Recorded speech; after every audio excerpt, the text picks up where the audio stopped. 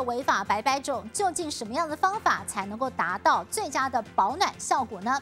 有日本节目就实测了，来测试的包括的这种双层违法。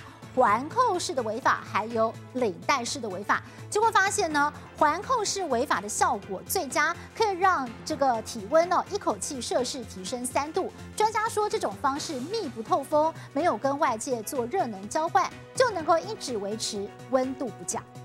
天气冷飕飕，厚外套、帽子全都穿上身，其中大家最常搭配的保暖小物，非围巾莫属。我只会第二种啦，我手比较笨平常都是围第二种比较多。围巾围法百百种，不过打法不同，御寒效果也有差。日本节目就针对三种围巾围法、双层围法、环扣式围法、领带式围法进行一连串的试验，在室温仅摄氏十度的环境当中各维持三十分钟，来观察体温变化。考考民众认为哪一种比较保暖？第一种，因为你可以让它的就是。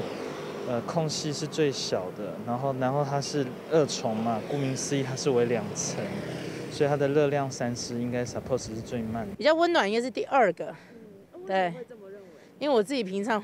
会这样子围，因为那样比较能够把这个脖子这个地方围住。应该第二种蛮暖的吧？它是先对折之后，然后围起来。我其实平常都是围第二种比较多。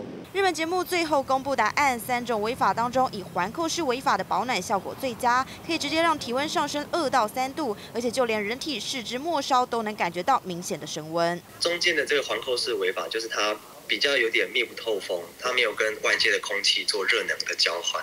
所以它就能够一直保持它的温度这样子。而双层围法和领带式围法，体温的上升幅度则不到一度。围围巾也有学问，可别围错了，保暖效果被减半。记者综合报道。